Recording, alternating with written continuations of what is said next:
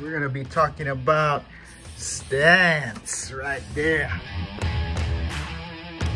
All right, how's it going everybody? We're gonna jump in. Remember, this is for the young, the young at heart, uh, any age. So just to get you moving. I know it looks a little confusing, but I put a line, tape line down the middle just to indicate 90, 45 degree and where my stance will be.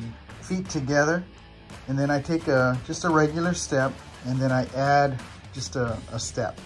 And, so my back leg is on the right side of this line, and, and my heel is there, in the front toe here.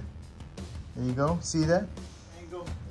So my feet together, and I take a normal step, add a, a foot step right there, and if there's a center line, your back foot heel is on the right side of the line, your front foot toe is on the left side, and so you're creating a foundation here. You're not in, your back foot is not directly in the back. It, it doesn't give you a good foundation. And so back heel on this line aligned with the front toe. And that's kind of your basic stance. You want to keep your knees bent a little bit and we'll get